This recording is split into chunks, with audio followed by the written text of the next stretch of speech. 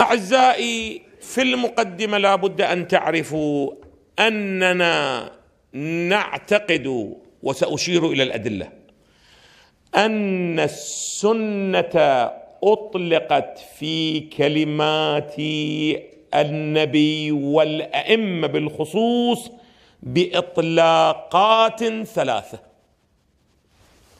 وما لم نلتفت إليها يقع عندنا التعارض قد يقول قال سيدنا ما هو وجه ارتباط هذا البحث؟ ماذا؟ ببحث التعارض. الجواب أنت إذا ما تلتفت إليها إليها تتصور أنه يوجد شنو؟ تعارض. مع هو في الواقع ماكو تعارض لأنه خلط ماذا؟ اشتراك لفظي. الإطلاق الأول للسنة هو ما يقع في في مقابل الكتاب.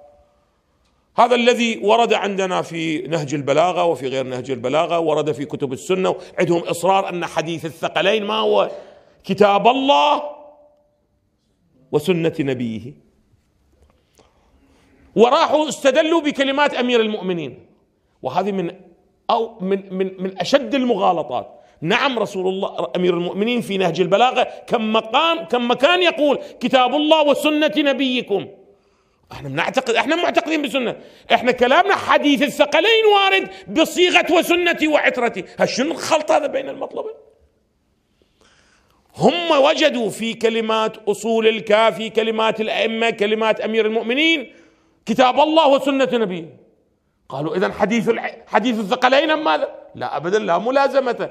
رسول الله في حديث الثقلين أرجع إلى شيء. وكتاب الله وسنة شيء آخر. إذا الإطلاق الأول أعزائي تطلق السنة في قبال ماذا؟ الكتاب.